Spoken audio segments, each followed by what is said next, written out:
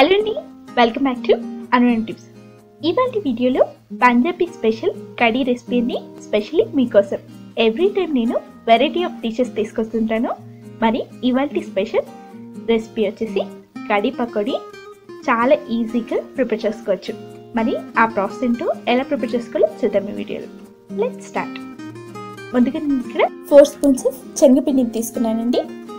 ఇక నేను అప్రాక్సిమేట్లీ పావు కప్పు శనగపిండిని యూస్ చేస్తున్నాను. అలాగే మనం ఇందులోకి సన్నగా తరిగించిన ఉల్లిపాయని కూడా యాడ్ చేసుకుందాం. ఇక నేను ఒక ఉల్లిపాయని ఇలా సన్నగా తరిగి యాడ్ చేసుకున్నాను. అలాగే ఇందులోకి సన్నగా తరిగించిన పచ్చిమిర్చిని ఒక మూడు పచ్చిమిర్చిని సన్నగా వేసుకుంటున్నాం వన్ స్పూన్ అల్లం వెల్లుల్లి పేస్ట్ హాఫ్ స్పూన్ సాల్ట్ లేదా రుచికి సరిపడినంత సాల్ట్ యాడ్ చేసుకుని ఇక దీన్ని మిక్స్ చేసుకున్నాం మీరు ఎప్పుడైనా ఇంట్లో వెజిటబుల్స్ అవైలబుల్గా లేవన్నప్పుడు ఇలా సింపుల్గా కర్డ్ అయితే ఎవరి ఇంట్లోనే ఉంటుందండి. చాలా టేస్ట్గా ఉంటుంది. పిల్లలు చాలా ఇష్టంగా తింటారు. మీరు ఇలా ప్రిపేర్ చేసి ఇస్తే మనం ఏది చేసినా పిల్లల కోసమే కదండి చేసేది. ఇక మనం బయటనే ఇలా రెడీ చేసుకుని దీన్ని చిన్న చిన్న ఉండలాగా ప్రిపేర్ చేసుకుని పక్కన పెట్టేసుకుందాం. చూడండి ఇలా ప్రిపేర్ చేసుకుని పక్కన పెట్టుకుందాం. ఇప్పుడు మనం స్టవ్ ఆన్ చేసి కడాయిలో ఆయిల్ హీట్ అయ్యాక వీటిని ట్రాన్స్ఫర్ చేసుకుందాం. మనం ఏదైతే ఉండలు ప్రిపేర్ చేసి ఉంచామో ఆ ఉండల్ని ఇందులోకి వేసి వేయించుకుందామండి. స్టవ్ని సిమ్లో ఉంచుకుని వేయించుకోవాలి. ఆయిల్ హీట్ అయ్యాక స్టవ్ సిమ్లో ఉంచుకుని వేయించుకోవాలండి. చూసారుక ఇలా బ్రౌన్గా వేగిపోయాయి కదా ఇక వీటిని ఒక ప్లేట్లోకి ట్రాన్స్ఫర్ చేసేసుకుందాం. ఇప్పుడు మనం స్టవ్ ఆన్ చేసి ఒక బౌల్లోకి ఒక two table spoons of oil add చేసుకుందామండి. ఆయిల్ కాస్త హీట్ అయ్యాక ఇందులోకి జీలకర్ర వాళ్ళని వేసి వేగనిద్దామండి. అలాగే ఒక మూడు ఎండుమిర్చిని కూడా యాడ్ చేసుకుంటున్నాము. ఎండుమిర్చి కూడా కాస్త బ్రౌన్గా వేగనివ్వాలండి. ఇలా బ్రౌన్గా వేగాక ఇందులోకి సన్నగా తరిగించిన ఒక ఉల్లిపాయని యాడ్ చేసుకుందాం. అలాగే పచ్చిమిర్చి ఒక మూడు పచ్చిమిర్చిని ఇలా మధ్యలో కాట్ పెట్టి ముక్కలుగా కట్ చేసుకుని వేసుకుంటున్నాం ఇందులోకి అల్లం వెల్లుల్లి పేస్ట్ కూడా వేసి వన్ స్పూన్ అల్లం వెల్లుల్లి పేస్ట్ వేసి బ్రౌన్గా అయ్యేదాకా వేగనిద్దాం. ఈ ఉల్లిపాయలు బ్రౌన్గా వేగేలోపు మనం దీనికి కావాలి కావాల్సిన సూప్ని ప్రిపేర్ చేసుకుందామండి. ఇక మనం చూడండి మనం ఉల్లిపాయలు వేయడానికి కాస్త టైం పడుతుంది. ఈలోగా మనం కడీని ప్రిపేర్ చేసేసుకుందాం. ఒక బౌల్ ముందుగా నేను ఇక్కడ ఒక బౌల్ తీసుకున్నానండి. ఇందులోకి మనం షేక్ చేసి ఉంచిన కర్ని యాడ్ చేసుకున్నాం పెరుగు గడ్డలుగా లేకుండా సాఫ్ట్గా అయిపోయేలాగా చూసుకోవాలండి.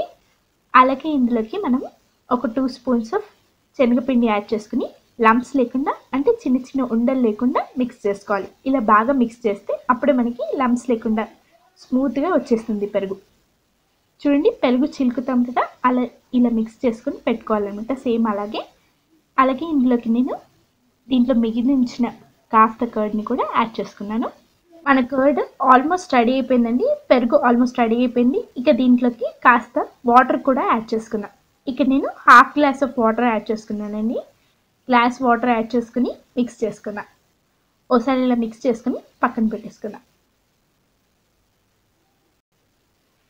చూడండి మన ఉల్లిపాయలు కూడా ఆల్మోస్ట్ వేగిపోయాయి.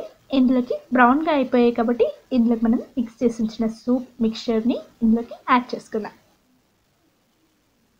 అలాగే ఇందులోకి హాఫ్ స్పూన్ పసుపు వన్ స్పూన్ కారం అలాగే వన్ స్పూన్ సాల్ట్ యాడ్ చేసుకున్నామండి.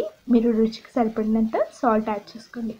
అలాగే ధనియా పౌడర్ కూడా యాడ్ చేసుకున్నాను వన్ స్పూన్ ఇవన్నిటిని యాడ్ చేసుకున్నాక మిక్స్ చేసుకున్నాం. చాలా సింపుల్గా ఉంది కదా? ఈజీ అండి. ఇది ఇంట్లోనే సింపుల్గానే ప్రిపేర్ చేస్తున్నామండి. చాలా ఈజీ అండి. మీరు పెరుగు చారు ఎలా అయితే ప్రిపేర్ చేస్తారో సేమ్ అదే ప్రాసెస్ ఎగ్జాక్ట్గా అదే ప్రాసెస్ అండి. కాకపోతే మనం ఇక్కడ పకోడీని యాడ్ చేస్తున్నాం. మనం ముందుగా వేయించి ఉంచిన పకోడీలని ఇందులో వేసి మిక్స్ చేసుకున్నాం అంతేనండి మనకు కావాల్సిన టేస్టీ కడీ రెసిపీ రెడీ అండి. చాలా టేస్టీగా ఉంటుంది. మీరు ఖచ్చితంగా ట్రై చేయండి. చాలా నచ్చుతుంది. మీ పిల్లలకి చాలా ఇష్టపడి తింటారు యమ్మీగా ఉంటుంది టేస్ట్ ఇలా మిక్స్ చేసుకున్నాక దీన్ని ఒక ఫైవ్ మినిట్స్ పాటు కుక్ చేసుకుందామండి. క్యాప్ పెట్టి కుక్ చేసుకుందాం. మనం ప్రిపేర్ చేసి ఉంచిన సూప్ ఏదైతే ఉందో ఆ సూప్ మొత్తం పకోడీ అబ్జర్వ్ చేసుకునేలాగా క్యాప్ పెట్టి ఒక ఫైవ్ మినిట్స్ వరకు కుక్ చేసుకుందామండి. ఫైవ్ మినిట్స్ తర్వాత క్యాప్ తీసి ఇలా మిక్స్ చేసుకుందాం.